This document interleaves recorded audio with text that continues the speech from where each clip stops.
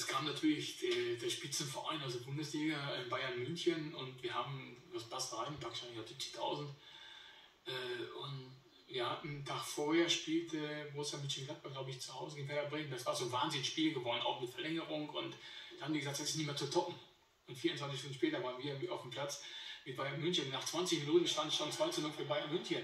Und ich glaube, wie ich das von Bekannten gehört habe nach dem Spiel mal, äh, dass viele Zuschauer auch, ach, jetzt kriegen die eine Packung, die setzen sich ins Auto, wollten schon enttäuscht nach Hause fahren und hatten natürlich auch das Radio eingeschaltet.